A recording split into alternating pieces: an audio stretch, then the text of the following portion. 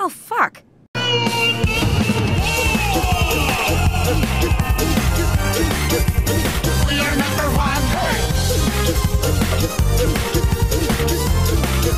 Now look at this bat. Here's a little lesson in trickery. This is going down in history. If you wanna be a villain number one, you have to chase a superhero on the run. Just follow my moves and sneak around. Be careful not to make.